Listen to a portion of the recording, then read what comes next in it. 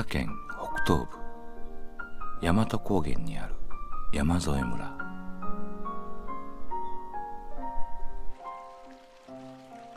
村の歴史民族資料館は明治に建てられたかつての小学校の講堂を活用している。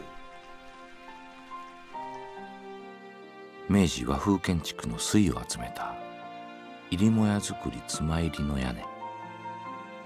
校舎としては珍しいらしい。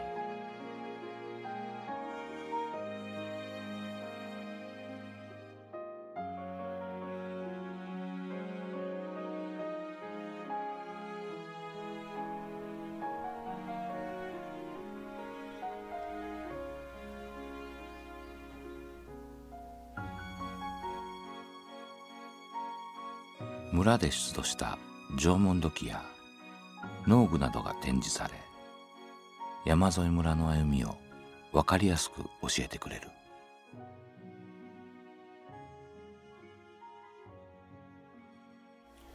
本館はあの旧の春日小学校の講堂を利用した資料館になっております、えーと、本館では、えー、縄文時代の遺跡をはじめ、多くの資料を展示しております。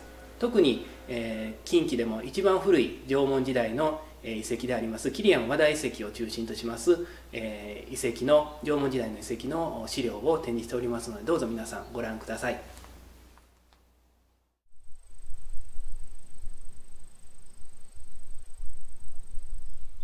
毛原廃寺跡古のロマンを感じる場所である。奈良時代平城京にあった大寺院と同じぐらいの大規模な七道伽藍が建立されていたことを示す。金堂跡南門跡などの礎石が当時のまま残っている。毛原廃寺跡は国指定史跡に指定されている。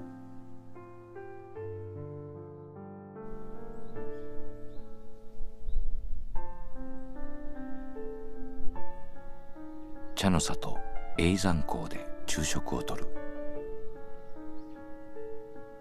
山添村特産の大和茶や地元野菜にこだわったメニューが味わえる食事どころだ。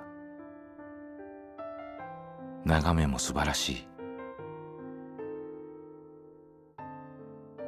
茶がゆ茶まぶし茶そうめんなど山添村のご当地グルメが楽しめる。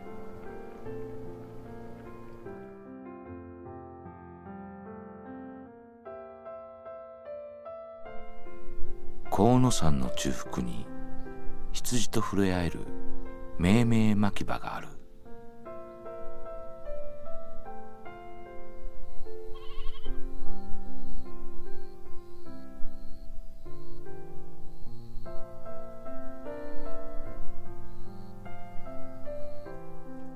愛らしい羊たちの表情に思わず顔がほころんでしまう。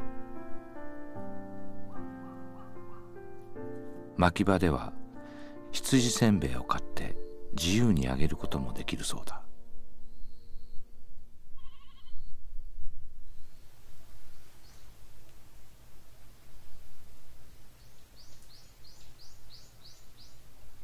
紅葉に生える河野寺を訪ねる。聖武天皇の時代宋行基によって建立されたと伝えられている。平安初期にはすでに世に知れた名刹であったそうだ。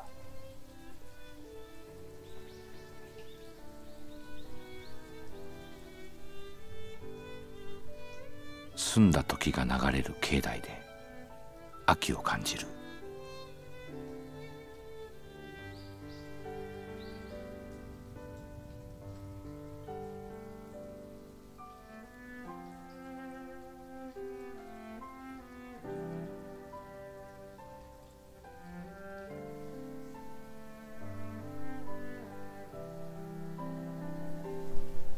河野山山腹にある自然が生んだ不思議な景観鍋倉渓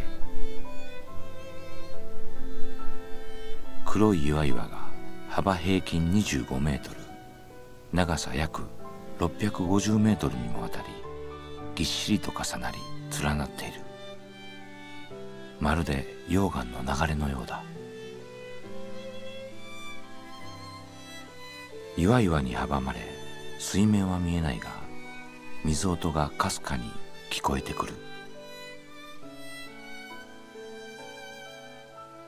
鍋倉系湧水は大和の水に選ばれている。